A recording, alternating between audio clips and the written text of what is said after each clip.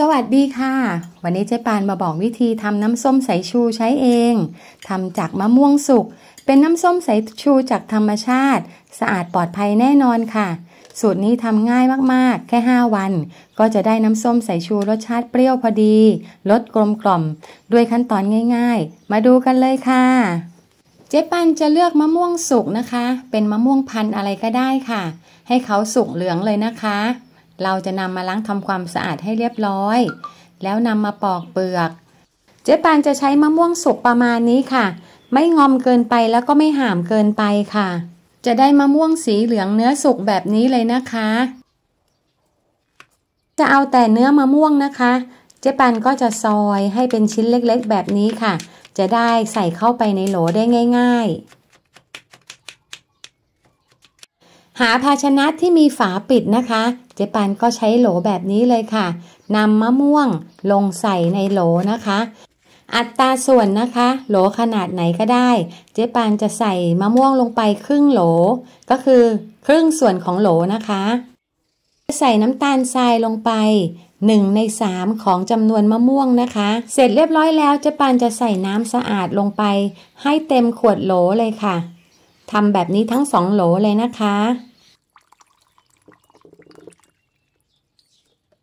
เรียบร้อยแล้วค่ะ เจ๊ปานจะปิดฝาเอาไว้แบบนี้นะคะ ไว้ที่อุณหภูมิห้องประมาณ 5 วันนะคะ ถ้าดองให้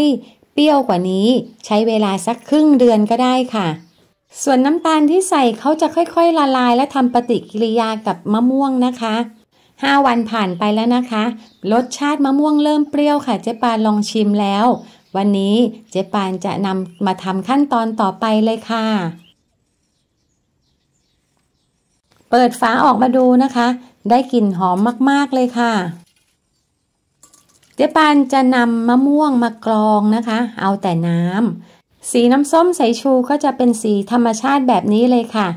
นำมาตั้งไฟนะคะ ต้มสุกให้เรียบร้อย เอาฟองอากาศออกด้วยค่ะ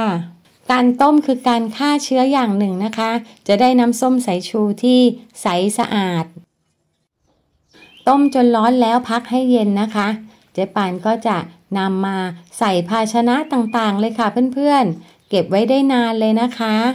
เจ๊ปานก็นำมาทำเป็นเมนูต่างๆนะคะ วันนี้เจ๊ปานจะทำราดหน้า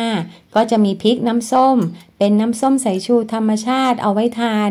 อร่อยมากๆเลยค่ะเพื่อนๆ